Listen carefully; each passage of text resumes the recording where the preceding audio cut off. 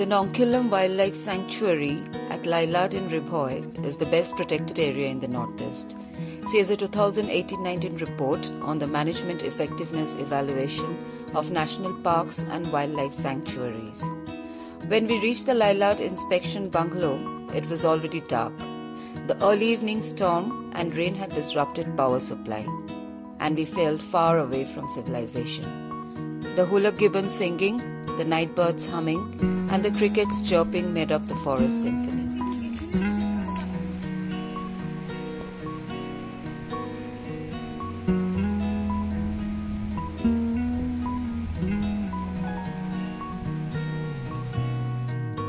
Early on October 15 morning, we set out for the sanctuary. The forest path was not easy to traverse. We had to be careful about the blood sucking leeches hiding in the thick foliage. The forester and guide, James Ward, took us to the artificial salt lake for animals and explained how to identify footmarks of different species.